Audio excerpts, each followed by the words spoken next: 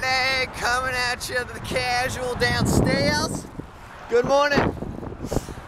We're doing it. It's Friday. We're going to be excited. The whole weekend's ahead of us. So, Invention Idea Friday. How we go. So, have this idea. You know, drive-in theaters. Good morning. You know, drive-in theaters. Well, what if? Good morning.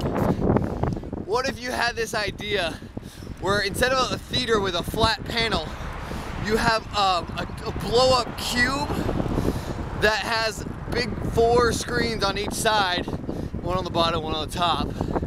It's inflatable, and inside you have four projectors shooting out to each one of the sides. And then you have a like a big open area. Good morning. You have a big open area, like a parking lot or a grass field, and people can come and they pay like two bucks or something, and they get their they have their headphones and they tune into like a radio station or something, and it listens. They listen to that movie that's on that side, and they can choose whichever of the four movies they want. The field is dead silent, but you just come, bring a long chair or a blanket.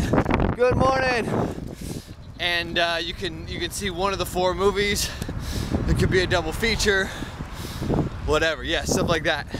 And then when you're done, you can like jump on top or whatever, have a bouncy house. I don't know that I don't know if that would work, but that's the idea. It's the new cube theater system. That's the segment. Happy Friday.